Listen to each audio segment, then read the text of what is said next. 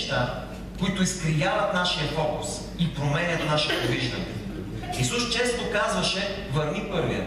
Исус често казваше за тези, които бяха на неговите проповеди, слушат, но не чуват, гледат, но не виждат. Защо? Защото много често ние допускаме други неща да са по-важни от истинските неща. Ние променяме приоритетите в живота си. Ценностната система е изменена. И днес аз ще говоря за религията, която е най-опасният враг на християнството, която изкривява погледа на вярата на, на християнина. Изкривява фокуса на християнина и променя възприятията му за света, възприятията му за служене, възприятията му за взаимоотношение, възприятията му за това, което Господ прави в този момент. Точно. Много често ние си мислим, че виждаме нещо, но всъщност виждаме това, което е важно тук сърцата ни. Понеже не сме допуснали, ние ще видим причините за това, понеже, понеже не сме допуснали да виждаме през погледа на Христос, но гледаме през изкривеното от религията наше съзнание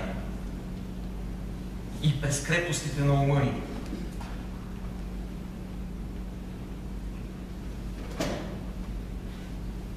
Това, което те виждаха, това, което чувстваха, това, което мислеха, беше различно от това, което Господ искаше да видят, да почувстват и да разберат на това място.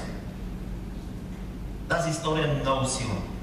Това е история за истинско покаяние. Това е история за това как да се върнем към първата си любов. И всъщност аз ще продължа една линия на проповядване, която тук започна от няколко служби в тази църква. И аз вярвам, че това е движението на Господ към, към тялото Христово и към църквата в Ловен част. Исус се обръща към Симон, макар и изцелен, спирай. Симон се чуди. Истински ли е? Не е ли истински? Пророк ли е? Не е ли пророк? И го провокира, като му разказа една история. Вчера готвех за тази служба. Господ ми показа първо тази притча. Аз сякаш видях за тази история, аз сякаш видях за първ път и спрях до тук. И казах, супер, това иллюстрира напълно това, което искам да проповядвам. Но не можах да продължа преди да прочита до края. Усетих, че Господ иска да го прочита до края. Всъщност много важна история разказа Исус на Симон. Обърна се към него и каза, Симоне, един заемодавец, кредитор, имаше двама длъжника. Единият му дължеше 50 монети, а другия му дължеше 500 монети. И двамата не можеха да му пуснат, а, да му платят. И понеже не можеха да му платят, те му простиха задължението. Нали? понеже не можеха да му платят, той им прости и на двамата. И каза, кой от двамата ще го обича повече? Симон помисли и каза, ами онзи, който повече е простен. Стойностите в живота на човека са различни. Днес за мен 50 монети може би са много повече пари, отколкото, например, за Любо 500 монети. Кой от двамата ще го обидите повече? Дали Исус говореше, връщат в курса, защото ще прочета почти. Дали Исус, излизам от фокуса, дали Исус говореше за количествено измерение? Дали Исус всъщност не говореше за осъзнаването на простения? Знаете ли, много лесно се намират 5000 лева на заем. Защо? Защото някой ще ти дава 5000 лева на заем. Ако ще търсиш 5000 лева на заем, вероятно имаш възможност да взимаш пари. Нали? Много по-трудно се вземат 5 лева на заем. Аз съм бил в едното и в другото.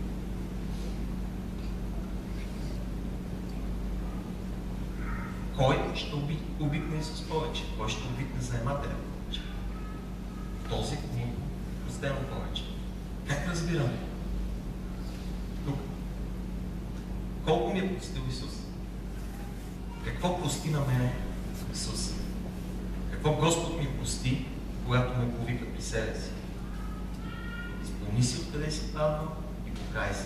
Казва Библията, Откровение, 2 глава, посланието към Ефеската църква. Като ключ да се върнеш към първата си любов. Казва, кого ще обикне повече. Аз тук виждам една много силна връзка между Божията любов, в която Бог излива в нас към Него, да го обичаме, отваря сърцата си, сърцата ни, да обичаме Него. Тази любов, тя винаги има връзка с любовта към ближните. Но виждам тази връзка между нея покаянието.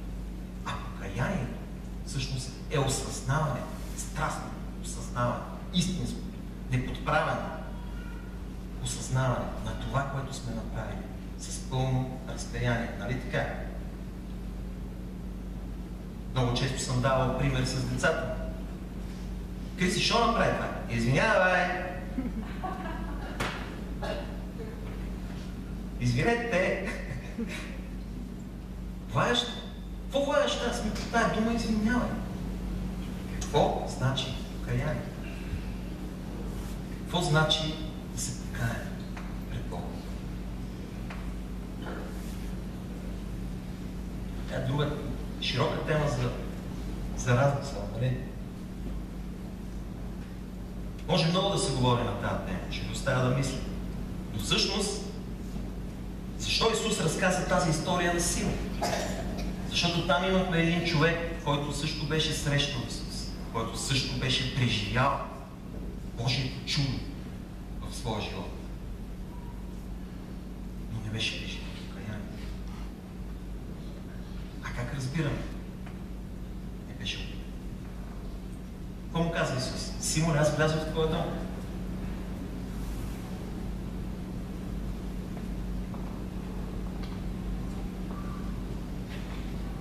Ти вода за нозете ми не даде. А тази жена с сълзи обля нозете ми и с косите си ги изтри. Целувка ми не даде. А тя не е престанала да целува нозете. Ти с масло не помаза главата ми, а тя с миро помаза нозете ми. Вижте, това е истината, такава каквато е. Тя е обективна, няма никаква намеса. По нея ние съдим за това, какво се е случило в съзнанието на тия хора, които са там. Не прибавяме, не дописваме, нищо не правим. Ние виждаме фактите такива, които са и казваме това е. И тук каза, прощават и се много грехове. Защото тя обикна много, а комуто малко се прощава, той малко обича. Също това му каза, тя наистина осъзна своето покаяние. Тя наистина разбра своето. Тя наистина се покая. Тази жена тук каза и ти си, твоята вяра те спаси. Прощават ти се греховете. И всичко това пред чудещите се и маещите се фарисеи. Симон преживял благословение, но не преживял покаяние. Той беше един колебаещ се последовател. Последовател, колебаещ се. Някой ще е колебаещ се, последовател. Аз вярвам, аз вярвам, че трябва да имаме правилния фокус на нещата. Любов към Бога. Исус се определи като основа на закона и пророците, заедно с любовта към ближния. Аз вярвам, че това се отнася не само за закона и за пророците, за целия ни християнски живот. Основен принцип, през който пречупваме всичко. Вярата ни, отношението ни, поведението ни, проповядването ни, служенето ни, всичко. Живота ни. Нека да видим сега тази история през очите на най-важния участник. Тази жена.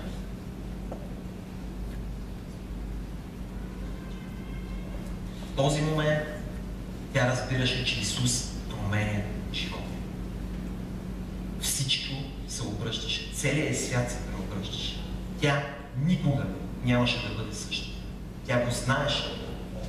и с този дат, който тя пренесе. Може би с всички тия грешни пари, нали, изкарани. Всъщност тя скъсваше своето минало. И от всякъде изгледаше глупаво и скандално. Една жена, блудница, в присъствието на мъжете, където жените само прислужват. Фюан, се говори за Марта, която прислужваше там. Тази жена отиде и взе главно участие, главна роля. Тя изливаше сърцето си, покланяше се пред Бога с автентична вяра и поклонение, принасяйки може би всичко, което има. Плетено в тази история говорим за нашата основна тема днес. Един древен, коварен враг. Вътрешен враг на църквата, наречен религия. И духовното същество, което стои зад него, системата на началствата и властите, религиозният дух. Това е за което ще проповядваме днес.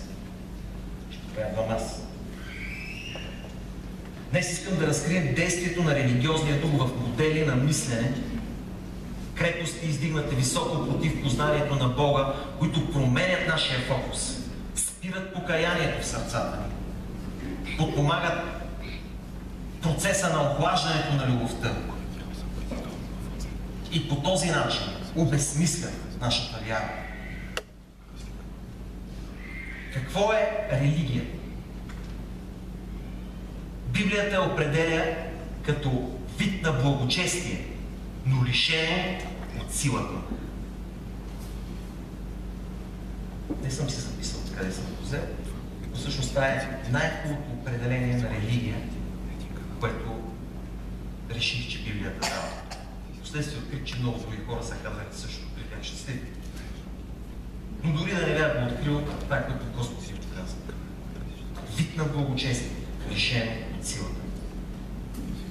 Звучи добре, изглежда добре, но отвътре не е истинско. Няма сила, не носи живота. Изглежда истинско, звучи правилно, доктринално е вярно, но липсва основната съставка. Разсъждавах, коя е тази основна съставка, която прави благочестието да има сила и липсата й прави благочестието да няма сила. Коя е тя? Знаете? Любовта.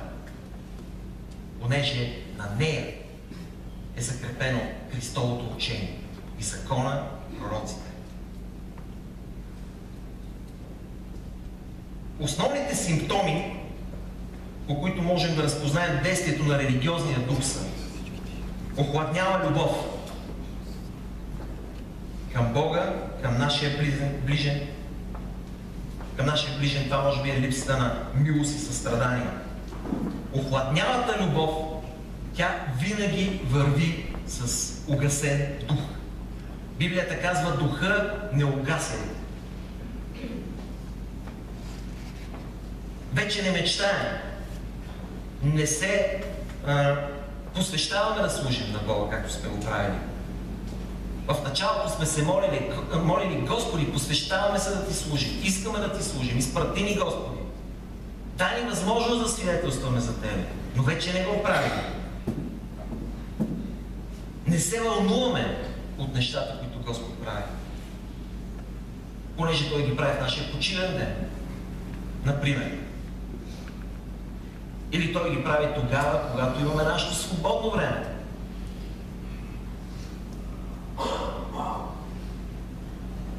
Липса на радост и реалност от спасението. Как разбираме, че липсва радостта и реалността на спасението? По нашето свидетелство.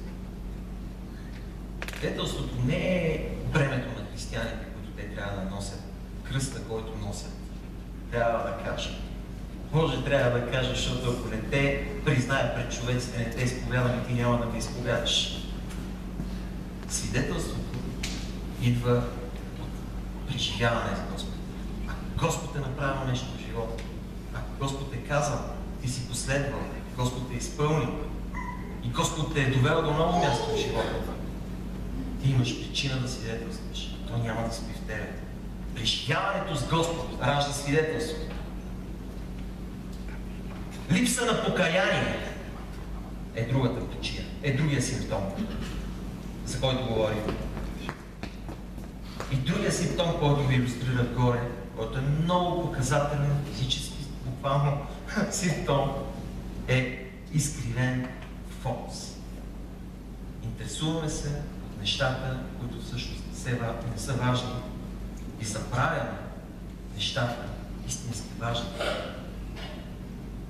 В Лука 11 глава имаме една библейска картина на изкривен фокус, която Исус дава. Казва, обръща се към книжниците и фарисеите и казва, колко на вас, книжници и фарисеи, колко на вас, защото давате десятък от всички градински растения, зеленчуци, правки, а пренебрегвате правосъдието и Божията любов.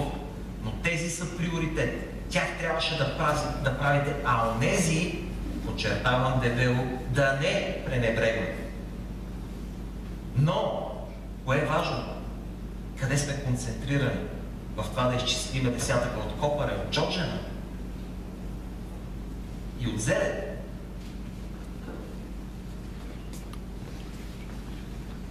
Исус се обръща към книжниците и фарисеите. Това са една много важна група в новозаветната история. Началото ви. Днес те звучат грозно. Днес като кажем книжника фарисей, то звучи това като а, като какво? Като чурбачи и седник. Дали в творчеството на възрожденските автори или като, като мафиот, нали, звучи гадно. Звучи, те са, те са престъпници в нашите очи. Те разпънаха Господ, те бяха против всичко. Но всъщност, какво бяха книжниците и фарисеите? Няма да правя днес защитата на книжника и фарисея, но когато кажеш фарисей в дните на Исус, ти казваш нещо страхотно, нещо гордо. Фарисей, това звучи гордо. В тези дни горда титла. Фарисея е човек отдаден на Бога, да търси Бога, да изучава писанията, забележете, предаден на индивидуална молитва, защото садокеите са вярвали в храмовото служение само, но фарисеите са били привърженици на индивидуалното служение, индивидуалната молитва, личния живот, на пост, на молитва, народен учител и духовен водач. Това са фарисеи. Звучи страхотно. Бяхме тогава, може би аз ще бъда и фарисей. По, нали, и може би някой от вас ще бъде фарисей. Може би в днешната картина аз ще бъда фарисей. Нали? Книжник. По това време това беше човек напреднал в изучаването на писанията. На нас книжник звучи като букварист някакъв. Мисъл иска всичко да е там, ако не му излиза от буквата на закона, не така се го представя аз. Но книжник е човек напреднал в изучаването на писанията. Тълковател на трудни места, и това е почетна титла, която идва от времето на първия споменат в Библията книжник Ездра.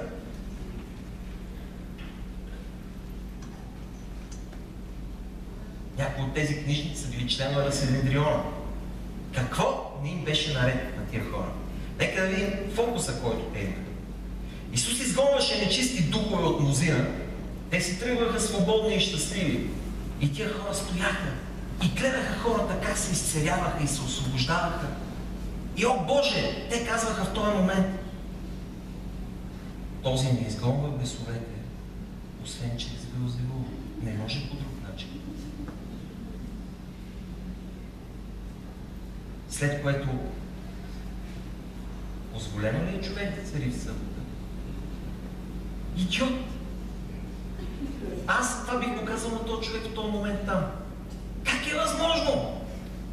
В този момент човек е лежал 38 години. Вижте, това е. Той е 38 години в капалната Витезда.